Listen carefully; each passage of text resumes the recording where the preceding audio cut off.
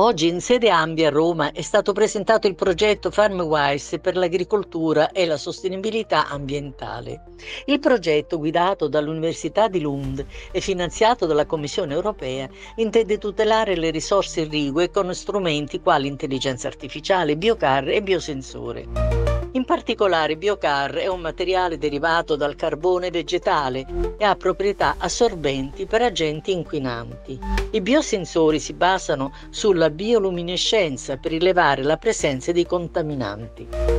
Alla presentazione del progetto hanno partecipato esperti, rappresentanti del governo a sancire l'importanza delle decisioni che si debbono prendere su un tema che in alcune zone d'Italia sta diventando addirittura drammatico. E noi come al solito siamo lì con le nostre interviste per rendere più chiaro tutto ciò che viene detto. Presidente, eh, un programma eh, importante che viene presentato oggi, eh, il progetto FarmWise per l'agricoltura irrigua e la sostenibilità ambientale. Ecco, quindi... Come Ambi è da diverso tempo che diciamo che di fronte alla crisi climatica dobbiamo agire con tre soluzioni. La prima soluzione è quella della, di mettere in campo quella manutenzione ordinaria e straordinaria che ci permette maggiore sicurezza dei territori, un'infrastrutturazione che deve prevedere degli investimenti importanti per adeguare le opere a quelle che sono le condizioni che ci stanno ponendo i cambiamenti climatici, per la mancanza o la minor piovosità o la distribuzione diversa della piovosità durante il periodo dell'anno, poi la sfida dell'innovazione, un'innovazione che deve dare delle risposte sia in termini di transizione ecologica ma anche di risposta eh, per poter utilizzare eh, delle risorse aggiuntive rispetto a quelle che abbiamo. Allora proprio stamattina dimostriamo come, ad esempio sulla risposta, nella risposta dell'utilizzo delle acque reflue, che non è nient'altro che un provvedimento europeo ma che come Paese siamo in ritardo a recepirlo, può essere una soluzione per mettere in sicurezza questo utilizzo rispetto a quelli che sono gli inquinanti presenti nell'acqua e lo facciamo in modo naturale, lo facciamo in modo concreto, dimostrando che anche su questo tema, quando raccontavamo che avevamo la, dove, avevamo la la disponibilità nell'utilizzo delle acque ma nello stesso tempo dovevamo garantire la salubrità del cibo. Ecco, con questo percorso, con questa innovazione possiamo anche dare delle risposte appunto sull'utilizzo delle acque reflue. Oggi si parla di qualcosa di veramente interessante e penso anche di innovativo. Noi da sempre seguiamo Ambi, ma oggi finalmente si cerca di mettere in essere qualcosa che dovrebbe cambiare il problema delle acque. Sì, oggi parliamo prevalentemente di qualità delle acque eh, e andiamo a, eh, attraverso questo progetto che parte oggi, andremo a valutare eh, tre importanti innovazioni. Prima fra tutte ehm, l'utilizzo di biosensori, mh, sono degli organismi che si illuminano quando ci sono dei contaminanti delle acque, quindi andare in qualche modo a testare questo metodo innovativo per valutare la qualità delle acque e quindi verificare se ci sono contaminanti. Uh, attraverso poi un'altra ulteriore innovazione è quella del biochar. Uh, biochar sostanzialmente è un prodotto che viene fuori dalla pirolisi di uh, prodotti, dei sottoprodotti della potatura, quindi bruciando questi sottoprodotti si vengono a creare questi filtri che sono in grado anche in questo caso di abbassare l'inquinamento delle acque, quindi di ridurre l'inquinamento delle acque. Anche questo è un metodo innovativo e soprattutto è un metodo eh, che utilizza sottoprodotti e quindi in qualche modo a, tutela dell'ambiente.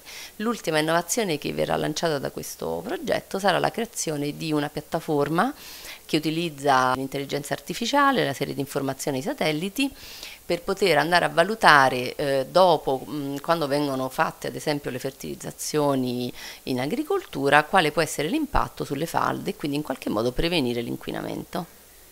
Beh, è un progetto veramente che vuole dare un volto nuovo al futuro dell'agricoltura, delle acque.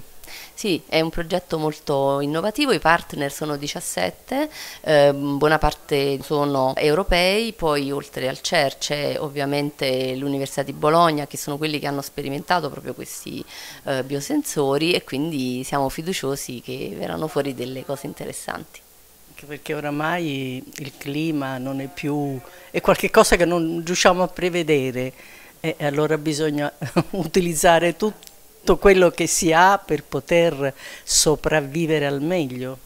Sì, ehm, in effetti noi quello che stiamo riscontrando come consorzi di bonifica è che a causa appunto proprio del cambiamento climatico abbiamo da un lato un aumento di richiesta legato al fatto che ehm, la domanda diciamo, aumenta per le ondate di calore perché le precipitazioni si concentrano in certi mh, periodi. Dall'altro lato purtroppo a causa dell'urbanizzazione sostanzialmente abbiamo una ridotta capacità anche del suolo di poter assorbire l'acqua e anche le falde si ricaricano meno e quindi diciamo che tutto il bilancio dei territori idrico del ter dei territori si stanno modificando. Strettamente legati al problema della quantità c'è poi quello della qualità e quindi noi ad oggi con questo progetto agiremo prevalentemente sulla qualità delle acque. Sperando che i cittadini anche diano del proprio sì, certo, tutti dobbiamo dare il nostro contributo utilizzando in maniera diciamo, più eh, efficiente l'acqua, non solo il settore agricolo, per l'agricoltura ovviamente l'acqua è fondamentale e si trasforma in cibo, quindi diciamo, sicuramente va risparmiata e va usata in maniera efficiente, però tutti dobbiamo fare la nostra parte. Presidente, oggi viene, qui in Ambi viene presentato un progetto, un progetto che dovrebbe un po' cambiare le cose che riguardano eh, l'acqua per il futuro. Sì, sicuramente è un progetto che va nella direzione giusta, è quella che noi ci auspichiamo da diverso tempo, anche perché questo sistema di utilizzare l'acqua reflue depurate per l'agricoltura è anche uno degli obiettivi che noi abbiamo inserito all'interno del decreto siccità. Questo va nella direzione ecco, dell'applicazione della ricerca tecnologica e quindi verso un'applicazione anche di un'agricoltura 4.0 nel rispetto dell'ambiente e nella tutela della salute dei cittadini. Questa è la strada giusta. Cosa si può fare per la Sicilia? Ma non è un problema solo di Sicilia perché se vi ricordate lo scorso anno eravamo a parti invertite, avevamo forti piogge al sud e molta siccità al nord quindi è un problema da risolvere in maniera strutturale con un approccio serio come stiamo facendo, abbiamo iniziato col decreto siccità e il decreto alluvioni, più c'è il piano nazionale idrico, utilizzando bene queste risorse dobbiamo non più considerare questi eventi come emergenze ma come governo del territorio. Direttore, sono toccati temi molto importanti. Alla fine lei ci ha riportato però a un dato drammatico del momento.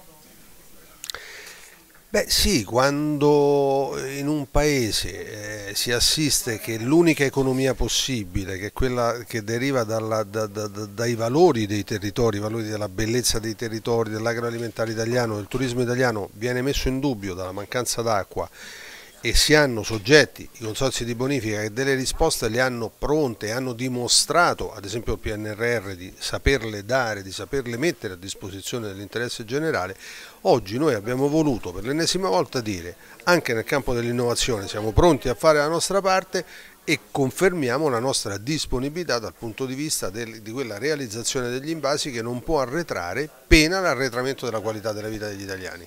Ma degli invasi voi ne parlate da tanto tempo, eh? Gli invasi ne parliamo da tanto tempo e anche con ehm, diciamo, la consapevolezza del fare. Ehm, un miliardo di metri cubi di acqua, i consorsi certificheranno alle istituzioni del Paese di aver risparmiato entro giugno 2025 grazie al PNRR. Beh, questi sono fatti concreti, quell'acqua la togliamo alle perdite e la mettiamo a disposizione della bellezza dei territori, dei cittadini, della produzione di energie elettriche, dell'agricoltura irrigua, del Made in Italy agroalimentare italiano.